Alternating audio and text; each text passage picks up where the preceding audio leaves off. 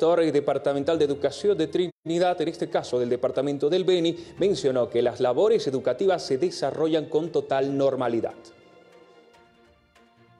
Todo sector social tiene su, el derecho, es constitucional, derecho a la protesta, el derecho a, a, los reclamos, a la huelga, pero esta tiene que ser justificada. En este momento, con toda la apertura de diálogo que tiene el Ministerio de Educación eh, o el Gobierno Nacional, eh, me parece injustificado el paro que no lograría otra cosa que perjudicar el desarrollo de las actividades de nuestros alumnos y obviamente día que no se pasa clase, día que va en contra de la calidad de la educación. Esperamos de que estas movilizaciones, estos paros que están anunciando los maestros no perjudique el desarrollo de las actividades escolares y obviamente esto va a ir pues para mejorar la calidad de educación que ellos mismos están pregonando. El director departamental de Educación manifestó que las actividades educativas en el departamento se la desarrollan de manera normal. Mañana las clases son totalmente normales, no he escuchado ningún anuncio de, de su dirigencia para el paro de actividades